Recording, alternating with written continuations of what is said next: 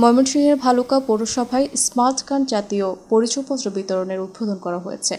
বৃহস্পতিবার সকালে পাইলট উচ্চ বিদ্যালয় মাঠে বাইশ হাজার চারশত উনআশিটি স্মার্ট কার্ড বিতরণের উদ্বোধন করেন সংসদ সদস্য আলহাজ কাজিমুদ্দিন আহমেদ ধনু।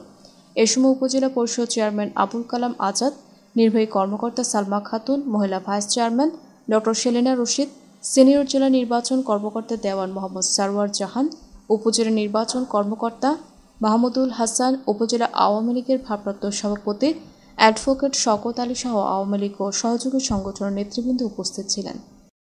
জাতীয় পরিচয় পত্রের মাধ্যমে আমরা আমাদের পরিচয় দিতে পারতেছি আমি বাংলাদেশি। তারপরে জাতীয় পরিচয় পত্রের ব্যবহার উত্তরোত্তর বৃদ্ধি পাওয়া শুরু করল। আজকের এই দিনটি আমি মনে করি এই ভারতবাসীর জন্য বিশেষ একটা সৌভাগ্যের সৌভাগ্যের দিন একটা প্রাপ্তির দিন।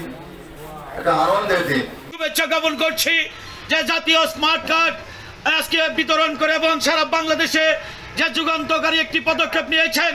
সরকার দুই সালে যে নির্বাচনী ম্যানিফেস্টো ছিল বাংলাদেশকে ডিজিটাল করবে।